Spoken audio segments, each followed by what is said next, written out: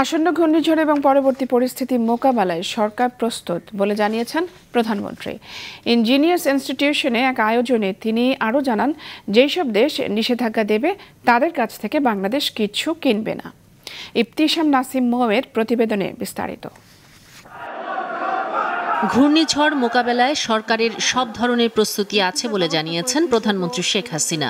সকালে ইঞ্জিনিয়ার্স ইনস্টিটিউশনের ষাটতম সম্মেলনের উদ্বোধনী বক্তব্যে একথা জানান তিনি। এই ঘূর্ণিঝড় মোকাবেলায় সাইক্লোন, শেল্টার, বহুমুখী এটা করা হয়েছে, সব রকম ব্যবস্থা আমরা নিয়েছি।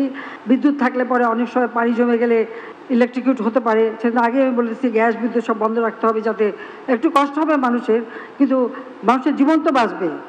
বক্তব্যে কোভিড ও রাশিয়া ইউক্রেন যুদ্ধের কারণে সৃষ্ট পরিস্থিতি এবং নানা ধরনের নিষেধাজ্ঞার সমালোচনা করেন শেখ হাসিনা।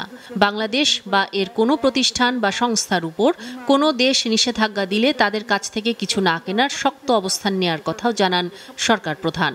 যাদের দিয়ে সন্ত্রাস দমন করি সবকে তাদের উপরে স্যাংশন তাই বলে যে যে দেশ স্যাংশন দেবে, তাদের কাছে আমি কিচ্ছু কিনবো না। আমার কি করবে? বাবা আমার ভাই বোন সব মেরে ফেলে দিয়েছে। আমার তো হারাবার তো কিছু নেই।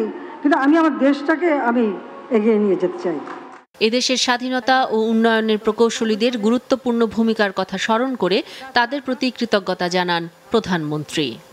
আজকে যেটুকু উন্নতি হয়েছে তাতে আমাদের যারা প্রকৌশলী আপনাদের সম্মিলিত প্রচেষ্টায় এটা সম্ভব হয়েছে সেজন্য আপনাদেরকে আমি ধন্যবাদ জানাই।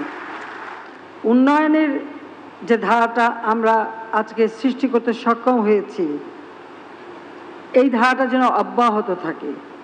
ভবিষ্যতে খোলা জায়গা জলাধার ও আলো বাতাস চলাচলের ব্যবস্থা রেখে অবকাঠামোগত উন্নয়ন করতে প্রকৌশলীদের পরামর্শ দেন প্রধানমন্ত্রী শেখ হাসিনা।